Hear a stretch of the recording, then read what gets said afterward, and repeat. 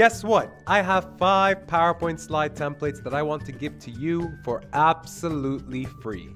Each and every slide is fully customizable to your needs. Whether you're presenting to your boss, your professor, your colleague, your employees, or your mother-in-law, you can use these five slides in any way that you'd like.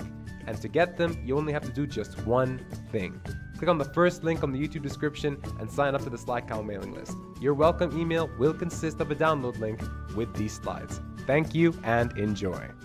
Welcome back to another video from SlideCow. My name is Yayo and together we're going to make your slides amusing. In this week's video, we are going to create a stunning bar chart using nothing more than a picture. No joke, just a picture. And you know what? It only takes three easy steps. So let's get to it. Step one, find the PNG image you can use.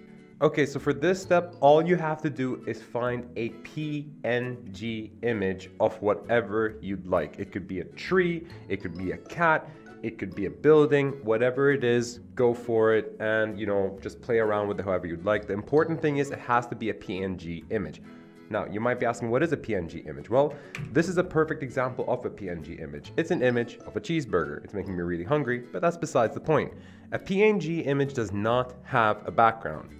So if I was to go to shapes, you know, I'm bringing a shape over here and send it to back, as you can see, uh, there's no white bike, there's no white background behind this little burger over here. Everything behind it is completely transparent.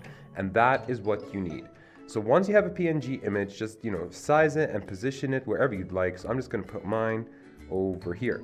So once you have your PNG picture, I'm just gonna call it picture from now on. So once you have your picture on the slide and you positioned it, all you have to do is just click on the picture itself, go to format, click on crop, and crop into the picture. Now, don't crop over any details of this picture. Just get the crop's borders, these little black lines over here, as close as you can to the picture, just like this. Right? It's really important because the next step is crucial. All right? So once you're happy with that, we can now move on to the next step. Step two, turn your image into a bar chart. All right, so the first thing you need to do is literally duplicate this slide. Do not move anything. I cannot stress this enough. Both slides have to be identical in terms of content and positioning, right? You cannot change anything now. If you need to change something, delete the slide, move it wherever you'd like, and then duplicate it. But for right now, I like my picture where it is right here, so I'm just gonna duplicate this slide.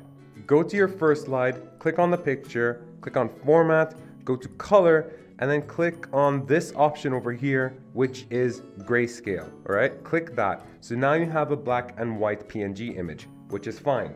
Now go to your second slide, click on the picture, go to format, go to color again, and this time choose a color using the more variations options. So for example, you can have it red, you can have it yellow, you can have it green, you can have whatever you'd like, it's up to you. Just be sure that you pick a color that you want to use for your slide. For this one, I'm gonna be using this pink right over here. Now comes the fun part. With this picture still selected, the colored one, might I add, go to crop and crop into your picture to reflect a bar chart statistic. So for example, in my slide, I'm saying that approximately 30% of people in the world today are obese or overweight. So I'm going to crop 30% of this picture starting from the left all the way to the right, but I'm actually gonna crop it in from the right. I know it sounds weird, just let me explain.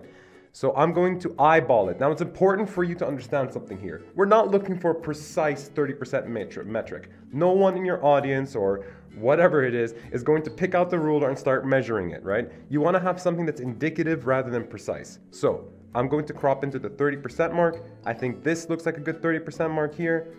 Perfect.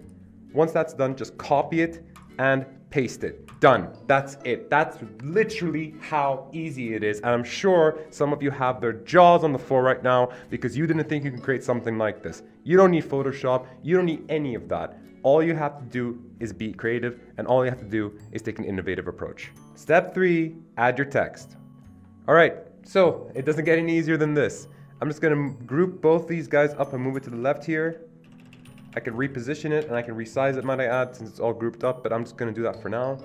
Uh, first thing I'm gonna do is go click on insert, click on text box and just type in approximately, I hope I spelled that right. Yes, I did. I'm gonna change the font to something a little bit more bold and increase the size. So this one's gonna be Uni Sans heavy caps. All right, perfect. I'm gonna make this a dark gray color, I think. Yep, that looks fine. I'm gonna press Control and Shift, bring this down over here, type in 30%, increase the size. I don't know, maybe 100 is a pretty good size to go with. Bring that up here. And then I'm also going to take this text box from the beginning, the same one that says approximately, bring that down over here, just like this, and type in of people in the world are obese or overweight. All right, awesome. Now I might have to position this slide just a bit. All right, great. So um, I'm gonna be a little bit more creative here. I'm gonna go to insert, I'm gonna click on shapes, and I'm gonna click on this rectangle. Just draw the rectangle like this, send it to back. I'm gonna remove the outline, and I'm gonna make the rectangle pink to reflect the bar chart, if you will. And I'm gonna change the text to white, just like that. And uh, I'm also going to highlight the words obese and overweight.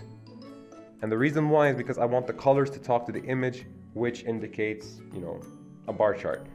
So overall, that's literally all you have to do. Now it's just a matter of positioning, fine tuning. So I'm gonna group these guys up here.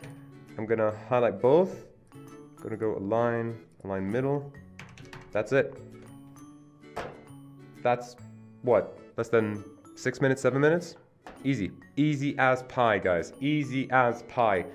You do not need to be a master designer to, you know, make slides that look absolutely stunning. I hope you enjoyed this tutorial. If you do, then please do share it, do like it, do comment, and do subscribe. And also visit slidecow.com. We need you guys there. We really do. Get your five free slides, guys. Get your five free slides. This is Yo-Yo signing off. I'll see you guys next time. Bye bye.